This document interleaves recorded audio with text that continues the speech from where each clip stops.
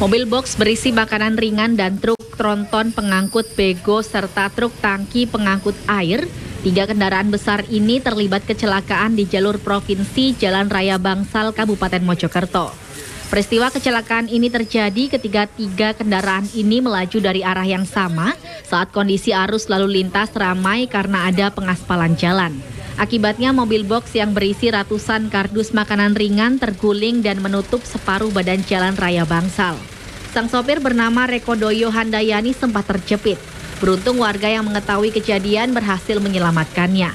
Dengan meminta bantuan sejumlah sopir kendaraan yang melintas di jalur tersebut, anggota Satlantas dari Polres Mojokerto berusaha mengevakuasi mobil box yang ada di tengah jalan.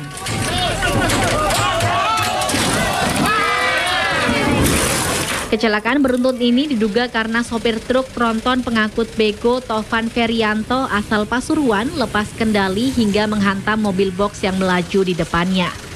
Sebenarnya enggak bro enggak, ya kurang antisipasi. Kurang Karena ya? jalan ini kan jalan antrian.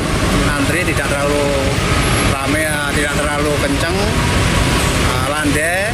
Karena di belakang ada apa? Di depan ada pengaspalan, berhenti lah ini. Di belakangnya ada box, juga mau berhenti. Tahu di belakang ada gitu.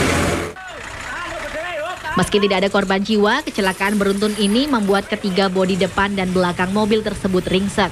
Dan arus lalu lintas di jalur provinsi Mojokerto, Pasuruan, dan Jombang macet hingga 2 km. Aminuddin Ilham, CTV. Iya, baru-baru bangun ya.